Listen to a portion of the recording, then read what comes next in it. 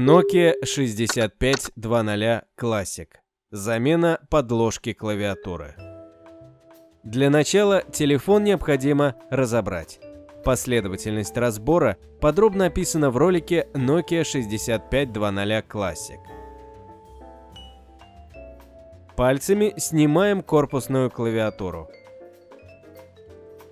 Отщелкиваем разъем подложки и коаксиальный кабель от системной платы –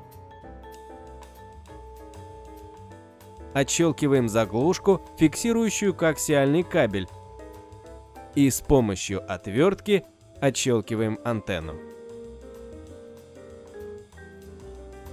Подложку клавиатуры начинаем отклеивать со стороны микрофона и дальше руками отрываем ее от средней части.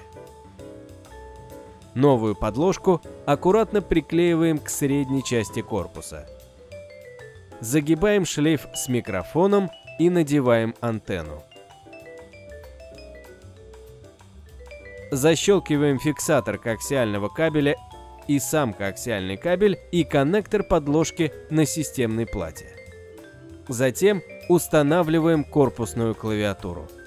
Все, подложка клавиатуры заменена.